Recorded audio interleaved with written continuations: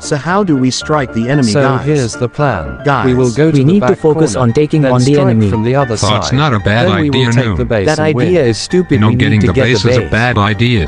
Getting the enemy is a good idea. All of you guys' idea. ideas are wrong. Shut the f up.